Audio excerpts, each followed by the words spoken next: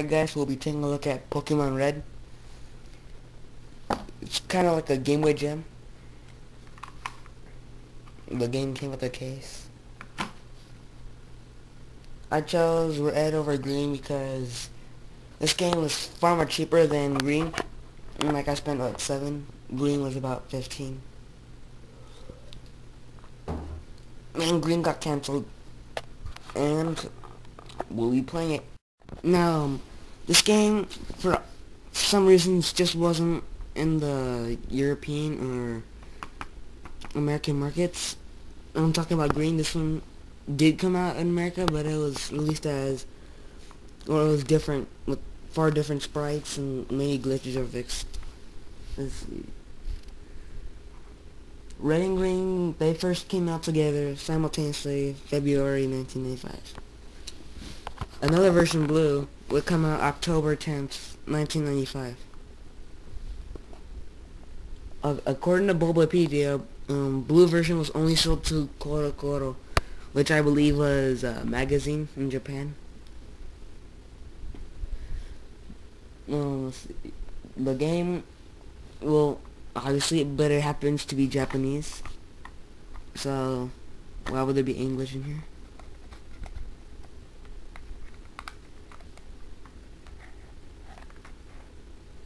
The reason like red and green are so popular these days is because Lavender Town Syndrome. I buy it just for to learn Japanese and to relive some memories.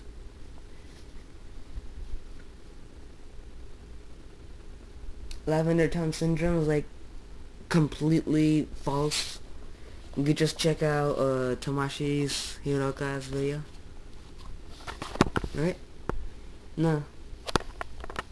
Well, this game will work on just about every single Game Boy system except for the Micro, because Micro doesn't play these games. And I got uh, Pocket Monsters Kin, or yeah, Kin. I'm gonna try to catch them all, right? And since there's pretty low lighting here, I'll play with this one. How to do it one-handed. Now let's play some Pocket Monsters. Um, oh my god, about this.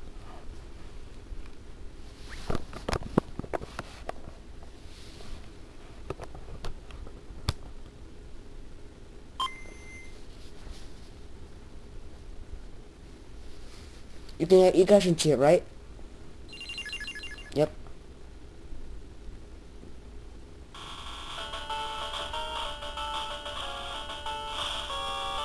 Here's a slew of the different sprites.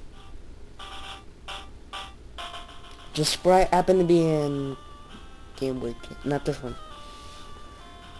But just let idle here for a bit.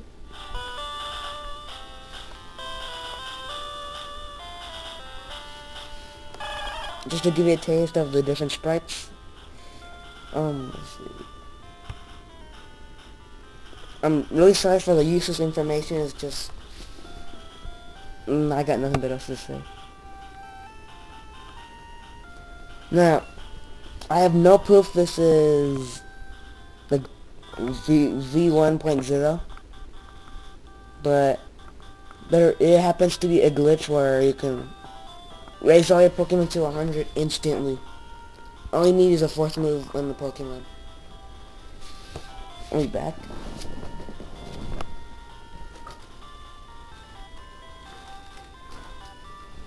Alright. To do this glitch...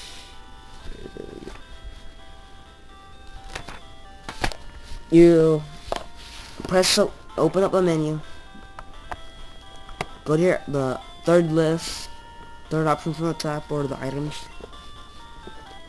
Press select on the seventh item.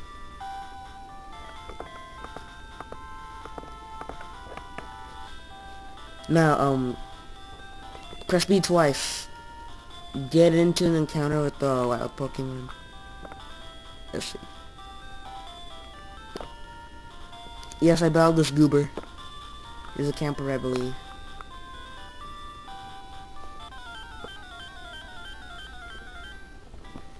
No.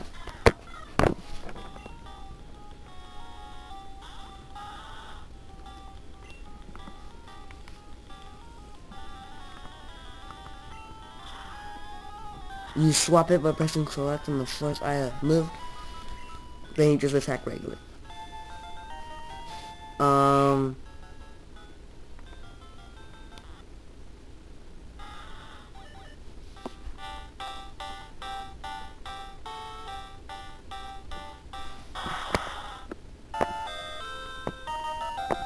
Yeah, it's a bad sprite, but graphics don't make the game.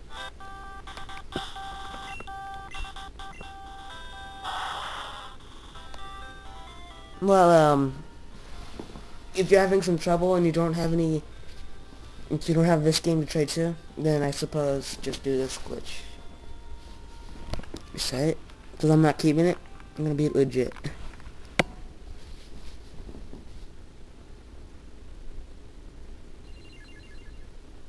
All credit goes to Chicosaurus, Chicosaurus GL. Mm, there will be an annotation right here. Just to let you know. Now, um,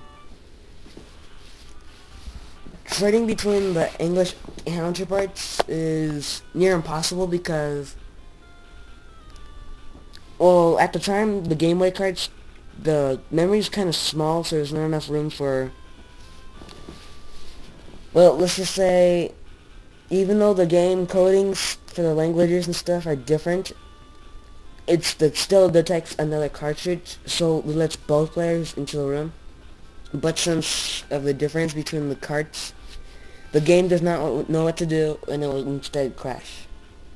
So, unless you care about your save, don't really do it.